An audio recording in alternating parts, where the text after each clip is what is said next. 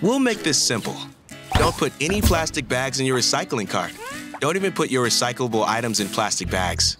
Keep them loose and keep plastic bags out of the cart. Learn more at recyclepvd.org